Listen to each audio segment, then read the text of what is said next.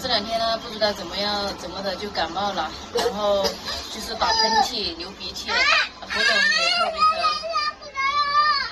呃，但是呢又不敢吃药，就是之前在家里面备了一个这个中成药，它是治喉咙痛的，我只能先先喝一包，然后看有没有效果。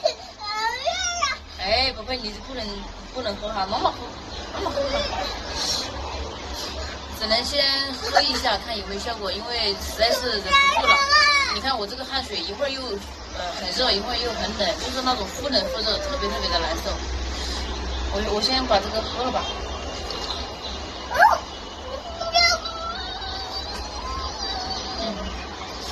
我喝药，宝宝他要喝，他以为这个是糖水。哎，这个不能喝，宝贝儿，你不能喝哈，你你感冒好了哈。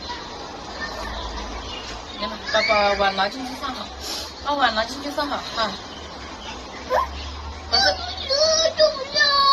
哎，把这个碗拿进去放好哈。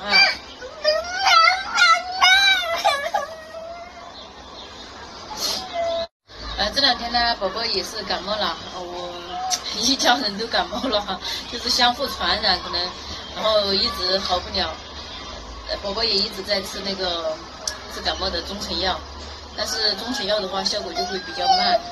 现在还还有点，还还没好。